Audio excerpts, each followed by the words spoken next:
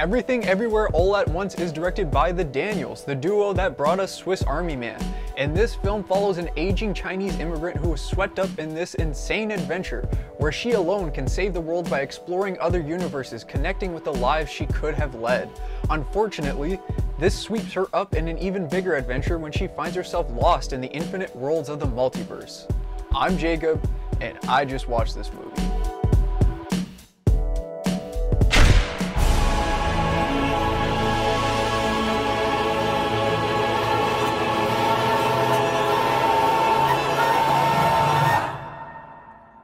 I was really excited to see this film. I love Swiss Army Man. That film is so creative and weird, so I was really inter interested to see this, and I can happily say that Everything Everywhere All at Once is a fantastic film.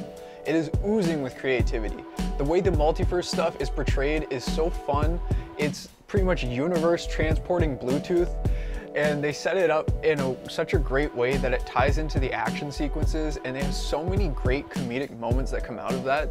And that's another big positive and I guess you could kind of look at it as a negative too for this film is that there are a lot of funny moments. There are some that had me cackling in the theater and then there were others that just fell flat there's an entire bit with a bagel uh, this is one in particular where they keep coming back to this joke and every time it just didn't land I can't fault the movie too much for that though, seeing as in a movie that's trying to make you laugh, not everything's gonna land. The lead performance in this film did work for me though. Michelle Yeoh and Ke Huy Quan, if I'm pronouncing that right, are great. Because we need your help. Very busy today, uh, no time to help. And they have to go through so many different emotions and feelings in this film. They're characters that have to see different lives they could have lived, and they do a great job showing the interior conflict that comes from that. This film has its characters face a lot of questions they have, have about the world and where we fit as humans fit into everything and it's really beautifully done. Like this film has a scene with two rocks that made me feel more emotions than pretty much any recently recently released film. Now, as much as I want to sit and praise this film because it does just about everything you could want from a film, I do have two problems with it. One is the runtime just because once the part two text came on the screen, I was kind of baffled because I thought the film was going to start wrapping up, but there was still quite a bit left.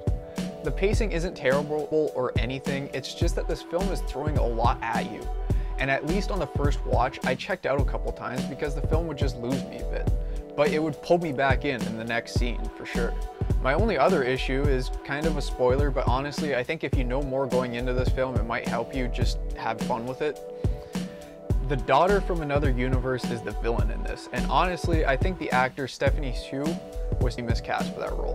This film is very goofy and silly, and her character is too at times, but as a villain, she didn't have that presence at all. Every scene with her as a villain just didn't work for me. I found I think they could have found a different actor just so she'd actually feel villainous rather than what we got, which felt like a teenage girl putting funny costumes on and throwing a temper tantrum. Again, I know this movie is supposed to be silly and fun, but she just doesn't work visually as a multiverse god with crazy abilities. This is also something that I can't fault the movie too much for because it isn't really the story of the film.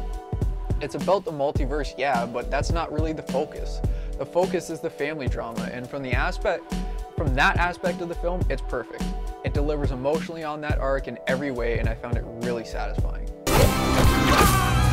Of all the places I could be, I just want to share with you. Overall, this is a great film. I encourage as many people to go see it as possible. It is very is a very universal movie. Like I couldn't name a solid demographic that this plays to. It's really funny and emotionally satisfying in a lot of ways. This is a film like Swiss Army Man that I think will get better the longer you sit with it. And while I did have issues with the film, this is one that is crazy to think it even exists. It feels so original and unique that it that I feel it is only right to give everything everywhere all at once a 10 out of 10.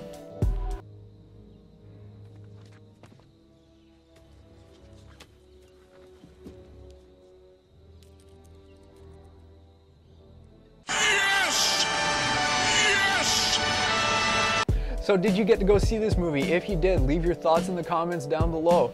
And if you enjoyed this video, don't forget to like and subscribe.